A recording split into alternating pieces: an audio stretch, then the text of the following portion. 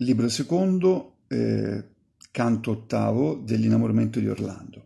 Quando la terra più verde è fiorita e più sereno il cielo è grazioso, allor cantando i rosignol si aita, la notte il cielo all'arboscello ombroso. Così lieta stagione ora mi invita a seguitare il canto dilettoso e raccontare il pregio, il grand onore che dona all'arme Gionte con amore.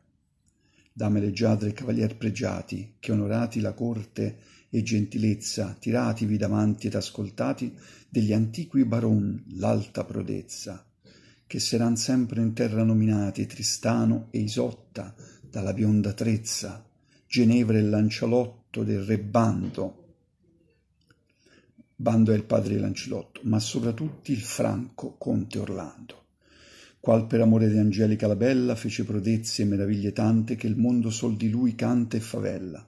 E pur mo vi narrai poco davante come abbracciato alla fo- battaglia fella con Aridano il perfido gigante cadde in quel lago nel profondo seno ora ascoltati il fatto tutto appieno. Cadendo della ripa a gran fracasso callarono entrambi per quell'acqua scura. Dico Aridano e lui tutti in un fasso cioè in un fascio uniti. Già giuso erano un miglio per misura e roinando tutta fiata basso cominciò l'acqua a farsi chiara e pure e cominciarono di vedersi intorno un altro sol trovarne un altro giorno. Come nasciuto fosse un nuovo mondo si ritrovarono asciutto in mezzo a un prato e sopra sé vedeano del lago il fondo il qual dal sol disuso illuminato faceva parere il luogo più iocondo ed era poi d'intorno circondato quel loco d'una grotta marmorina tutta di pietra relucente e fina. Era la bella grotta a piede al monte tre miglia circondava questo spaccio. Ora torniamo a ragionar del conte.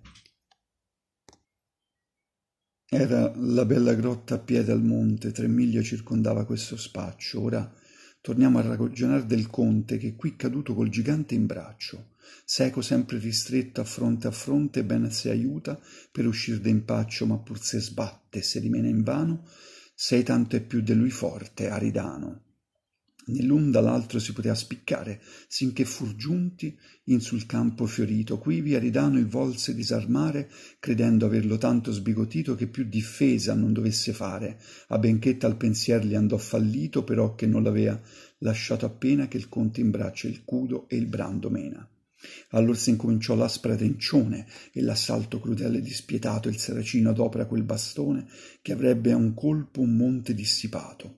Dall'altra parte il fio di melone avea quel branda d'arte fabbricato che cosa non fu mai cotanto fina e ciò che trova taglia con roina.